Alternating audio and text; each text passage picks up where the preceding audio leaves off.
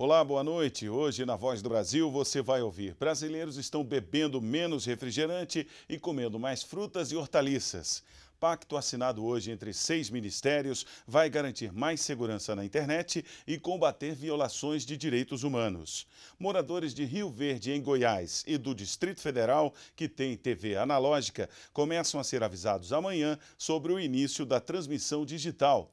E ainda, mais 14 comunidades quilombolas em cinco estados recebem certificação da Fundação Palmares. É o primeiro passo para o título da terra. Essas e outras notícias daqui a pouco, às sete da noite, na Voz do Brasil, em todas as emissoras de rádio do país. Até lá! Brasil.